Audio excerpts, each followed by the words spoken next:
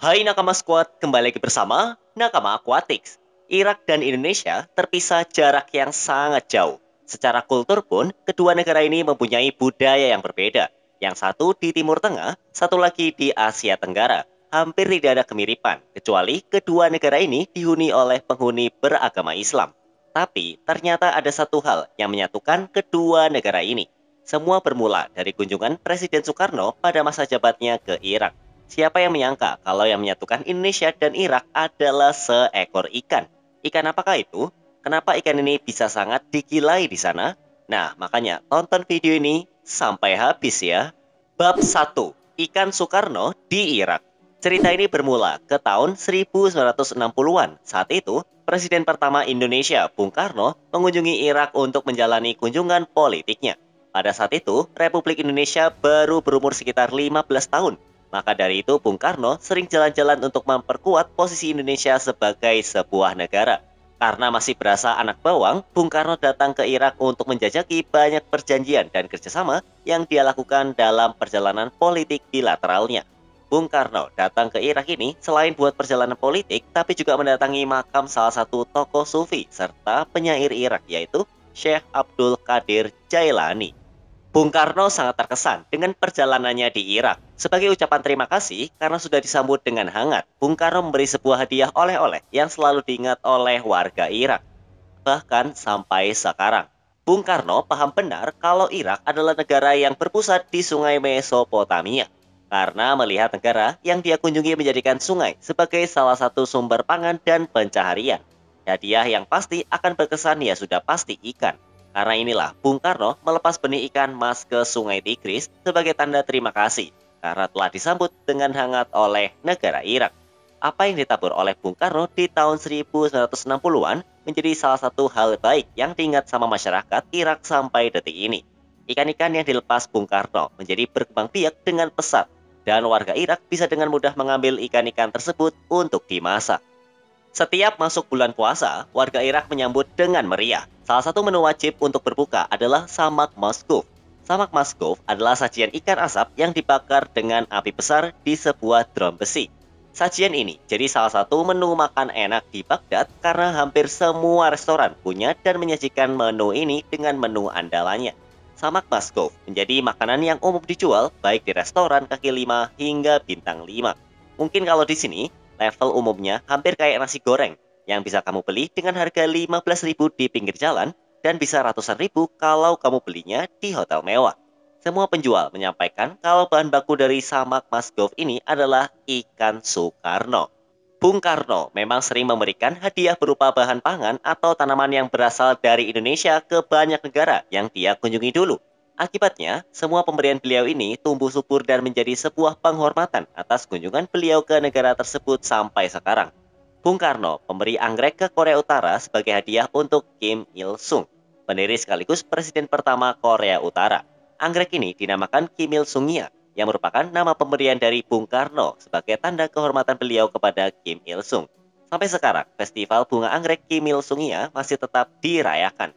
Banyak lagi kisah pemberian Bung Karno yang sampai saat ini masih dikenang. Tapi akan lebih seru jika kita gali lebih dalam soal jenis ikan mas apa sih ikan Soekarno itu. Bab 2. Jenis apakah ikan Soekarno itu?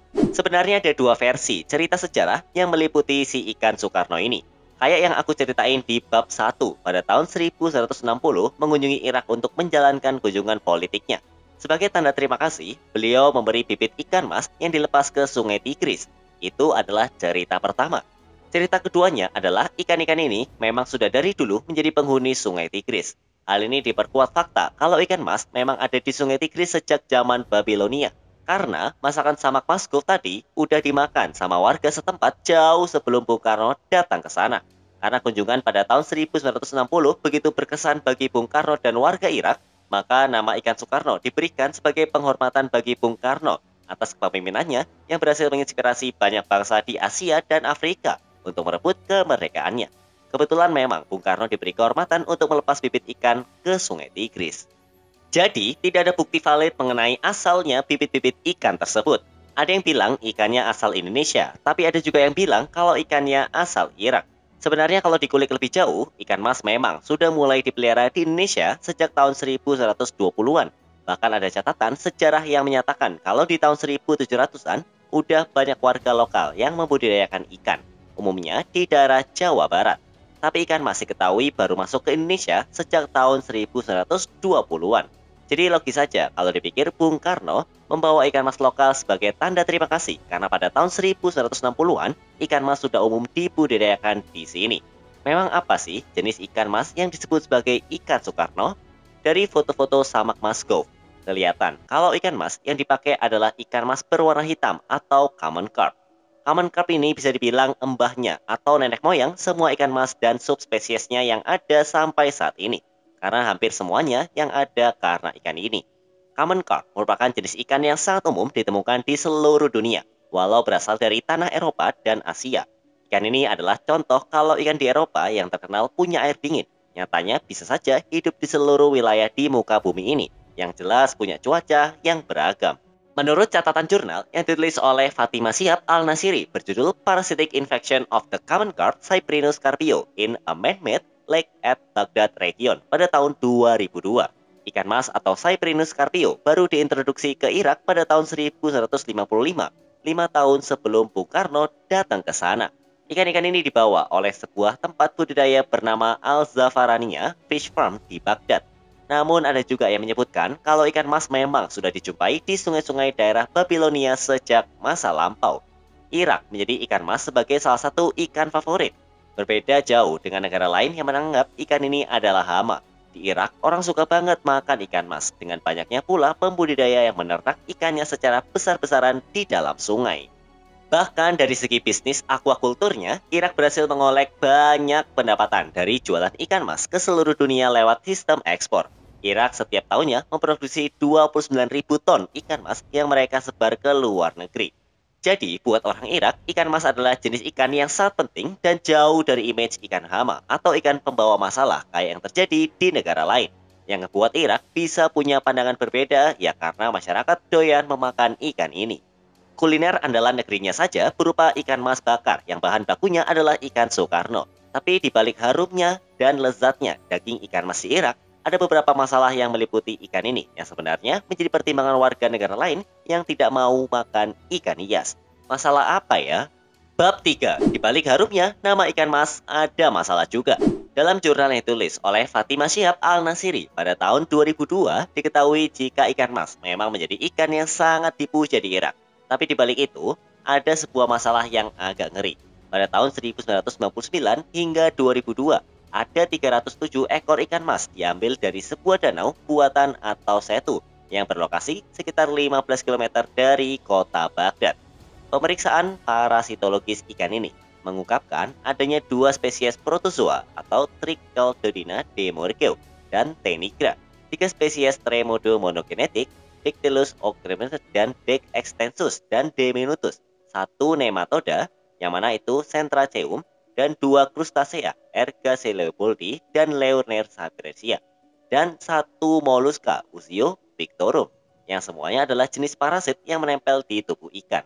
Di antara parasit ini, Contrucecium spesies dianggap sebagai fauna parasit ikan baru di Irak. Namun fakta ini tidak mengurangi minat warga Irak untuk tetap mengonsumsi ikan mas.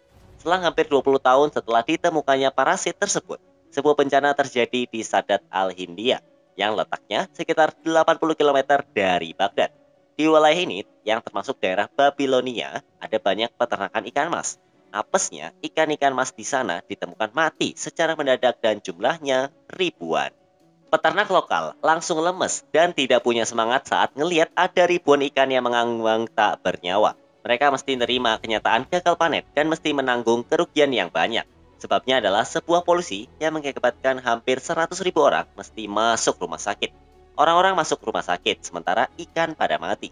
Para pembudidaya kaget pas ngelihat tahu-tahu ikan mereka ngambang tidak bernyawa. Padahal semalam sebelumnya semua kelihatan baik-baik saja. Seorang pembudidaya mengaku bahwa dia punya 28 karamba dengan total ikan mencapai 50 ribu ekor. Dengan adanya bencana ini, kerugian yang dia tanggung mencapai 80 ribu dolar atau sekitar 1 miliar rupiah.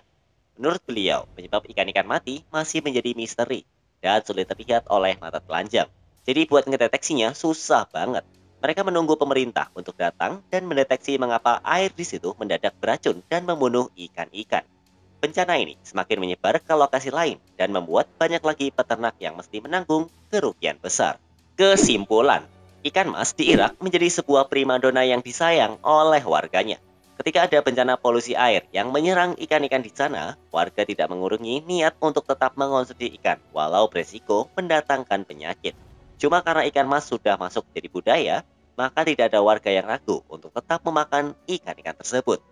Ikan mas di Irak menjadi sebuah tanda jika presiden pertama kita, Soekarno, memang seorang pemimpin dengan berbagai taktik untuk membuat Indonesia semakin besar lagi sebagai sebuah negara, termasuk dengan memberi hadiah ikan yang hingga kini dikenal sebagai hal yang indah. Bagaimana menurut kamu? Tulis di kolom komentar ya. Sampai jumpa di video-video nakama aquatic selanjutnya.